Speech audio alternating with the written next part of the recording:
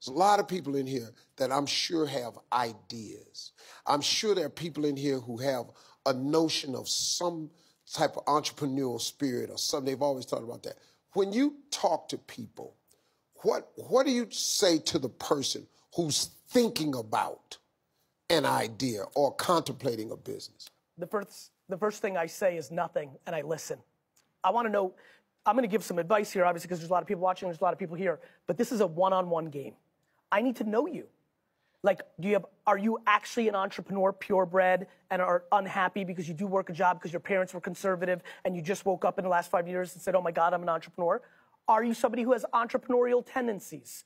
Right? You still like the stability of a job, mm. but a little side hustle mm. wouldn't, right? Yeah. Could be a little fun. Mm. I, so first I need to hear. Then I need to know real life.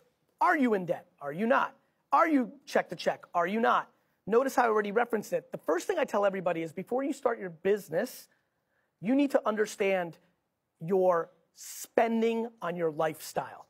I think the number one thing people, everybody wants to start an app because Instagram and Uber and these things happened, and 99% of people can't build an app.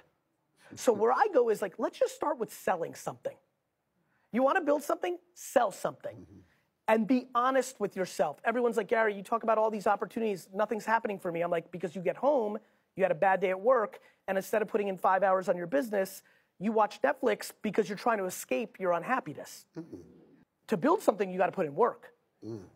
And you got to put in patience. But number one, Steve, number one, self awareness. I'm, I, am i am so excited right now because I'm going to say something, and I genuinely, one person in this audience is going to take it and do something with it. Take a step back and think about your favorite thing in the world. I'll give you one that feels very real to me. I believe that somebody right now watching this makes uncomfortably delicious pumpkin pie. Okay? Well, say this, or you have to say sweet potato. Respect. Respect. Yeah.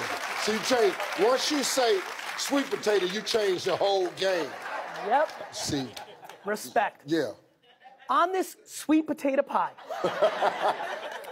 if you are the best at making it, what a lot of people don't understand is if you went and you had 39 friends on Instagram, 110 on Facebook, small, and you posted, I'm now selling the sweet potato pie that you all know about. And you know, 99% of people are just have followers that are friends, neighbors. So they know already a little bit about the reputation of the sweet potato pie. Mm-hmm. And you post that and you go, it's 9. dollars mm hmm Please reply or DM me if you'd like one. And three people reply. Three. You know, and I'm going to paint the whole picture for you. Yeah. Your friend's son just went to college. He came over for dinner one time and had it and loved it, and he just wants it. And he's got nine bucks. Yeah. And he replies, You've just started the process of actually building a business that you can actually build all of a sudden you wake up and 42 people want it. Now you take a step back and you're like, wait, I have a job. I babysit my daughter's kids. I'm busy. But you love making that sweet potato pie. Yeah. What that means is when you get home at 9:15 at night after you grinded and took care of your responsibility, you're going to bake four of them. My friends, I know somebody felt that in this room and I Yeah. That's real. That's see that's what because look man, Look, this is the information you have to hear. You have no idea what you're sitting on.